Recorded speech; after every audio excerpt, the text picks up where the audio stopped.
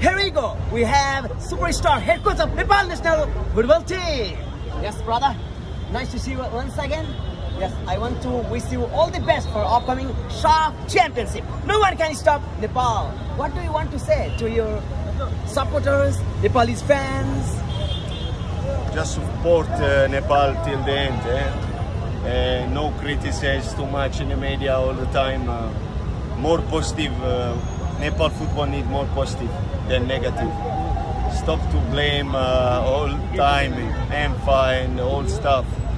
Just uh, focus uh, on our player.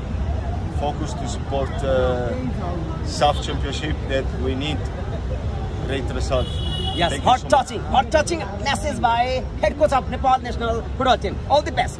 Thank you. Bye bye. Okay, best wishes.